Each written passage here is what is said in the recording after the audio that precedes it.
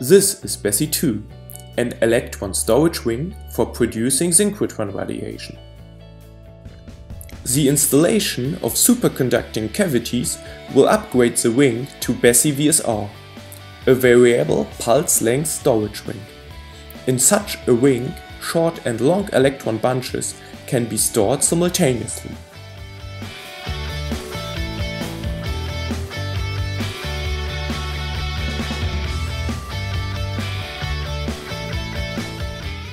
The typical length of the electron bunches is 3 mm when the superconducting cavities are switched off.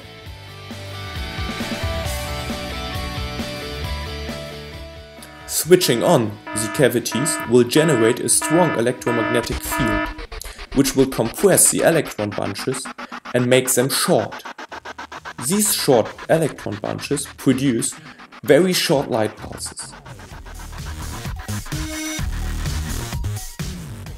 Because of the clever frequency choice of the superconducting cavities, some bunches are compressed and others not.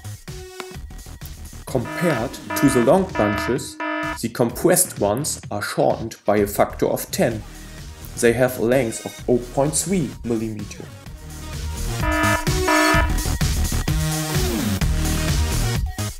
And this is BESSY VSR, short and long electron bunches simultaneously in one storage ring.